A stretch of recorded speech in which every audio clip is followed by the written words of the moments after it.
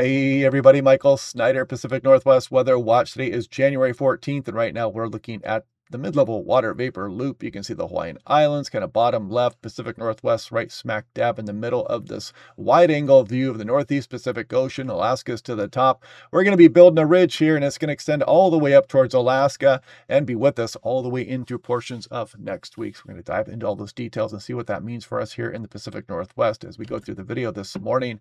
Pacific Northwest Weather Watch is on Facebook, so click on the link down below. It makes it easy for you to share with your friends and family.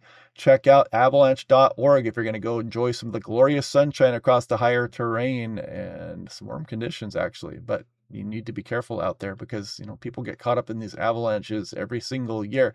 Uh, yeah, so click on these individual locations depending on where you go. It gives you all kinds of good information, avalanche danger, what kind of elevations, what to look for, and it gives you a bottom line forecast there as well. It even tell you freezing levels and all kinds of stuff there, so check it out. Now, looking at the European model, this is last night's run. I put this into motion, and you can clearly see this ridge is going to be with us. It's going to get established right along the coast of Oregon, Washington, and British Columbia as we go on in through this weekend. The Seahawks game will be nice and dry and should be light winds for that game on Saturday. And again, that ridge will be with us as we go on into the early portion of next week. So, some interesting stuff going on uh, in the short term with some precipitation up into British Columbia, but that'll be going as away as we go through tonight. And you can see we're going to really remain dry as we go all the way on into Friday morning. There's Saturday morning again for the Seahawks game should be completely dry across the region, and you can see no precipitation all the way through the six day period, all the way out towards Monday. And if I scroll back and forth a little bit here, you'll notice this pretty decent pressure gradient setting up right here uh, across some of the Cascades. Some gusty east winds will be visiting us for some select locations. And if you can believe it, this is a bit of a thermal trough moving up the coastline. We're in January, we're talking about thermal troughs. Pretty interesting stuff. Now, if we look at the North American model, you can see the offshore flow really starts to get going as we go through the day tomorrow on Thursday. That continues on through the day Friday. Could be quite gusty at times for some select locations. Stampede Pass may get a bit gusty here. We'll take a look at that more here in a moment and I'll check out some other models. Uh, and again, you can kind of see these gusty winds as we go through the day on Friday and the North American model goes through Friday afternoon again with some gusty winds. They're probably going to continue on in through the next few days thereafter as well. And in fact, if we look at the European model, you can see on Saturday they're still going. Sunday, we're still getting the offshore winds all the way through Monday morning here. Again, with no precipitation in sight. Now, if we take a look at 925 millibars, as I mentioned thermal trough, and you can kind of see that warm air aloft up the coastline there as we go on in through the day on Friday with some cold, dense air behind the Cascade. That's going to make for those gusty winds trying to squeeze through some of those gaps and whatnot in the Cascades. I mean, look at this at 925 millibars. It's only 2,500 feet off the surface, and you're talking about 25 Celsius, which is right about 77 Fahrenheit just off the surface. And again, very warm conditions. So, yeah, interesting stuff. This is more like a summertime pattern here, just without the very warm direct rays of the sun that you normally get during the summertime. So looking at two meter temperature anomaly, we are going to have some inversions forming at times. In fact, let me back that up. Look at this as we go through the day today. Look at some of these temperatures. Uh, we're exceeding, you know, 20, 25 degrees above normal across some of the Cascades in British Columbia. You can see it across portions of Canada as well. But you can also see some of the inversion action going on where we're going to be trapped in some cooler air uh, uh with those inversions because the weak, uh, you know, solar radiation at this time of year. And then as we go on in through Friday, Saturday, again, you can kind of see some of these inversions out there with some warm conditions across the higher terrains. I mean, look at this. Thursday, Friday, Saturday, very warm across the higher terrain. It's really going to do a number on our snowpack. I'm not looking forward to this at all. There we go through Sunday. Again, very warm across the higher terrain. There's Monday. Uh, yeah, so no end in sight right now. We'll take a look to see when that might come to an end as we go later in the video here. But if we look at daily two meter max temperature, I'm going to kind of scroll through here. And as you can see on, you know, in the west of the Cascades, some some pretty warm conditions, especially for some of the foothills and some of the higher terrain. You know, uh, if you're away from that fog, it's going to be quite nice. And some of the Oregon coast punching up in towards 60 degrees into the lower 60s on the day Friday there as well. Now, also, I mentioned the inversion. You can see as we're going through, let's go to Thursday morning here. You can see some of this fog out there and whatnot. You guys know the drill. Use your low beam, slow down. And if you're below freezing, watch out for some of that freezing fog potential as well.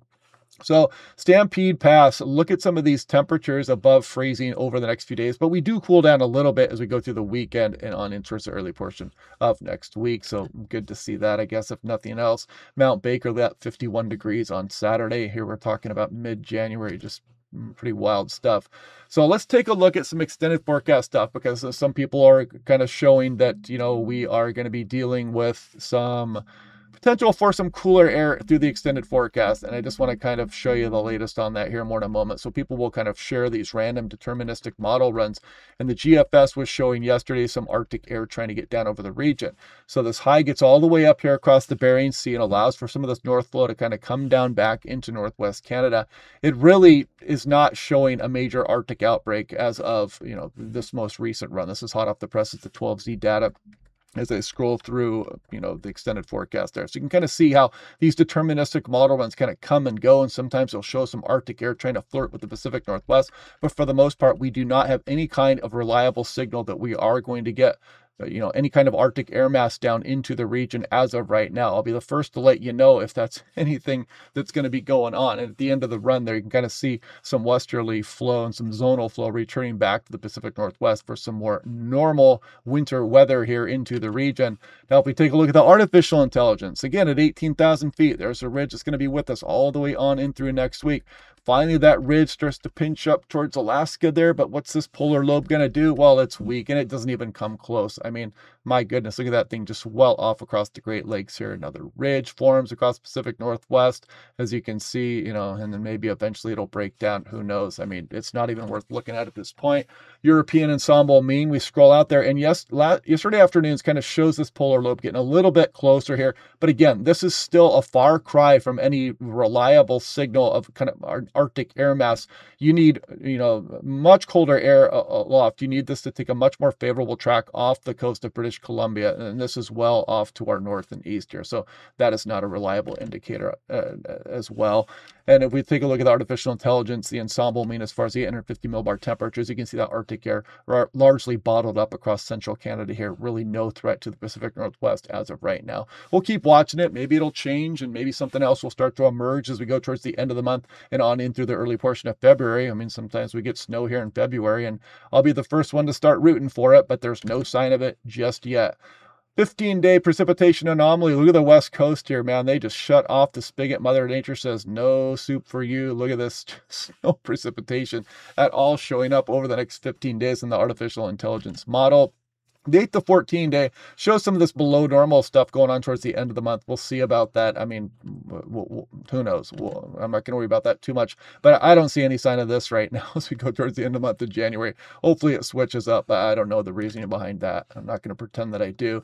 And if we look at the artificial intelligence, so there's that weak system kind of sliding through as we go through the day to day. And then we go off into the extended little bit of a thermal trough showing up here as we go through Thursday and Friday. We continue to have no precipitation in sight as we go through hour 200. We wait to see what comes after that. Some Arctic air tries to get down across you some of the northwest Canada and some of central Canada here, but really doesn't show much help for the Pacific Northwest.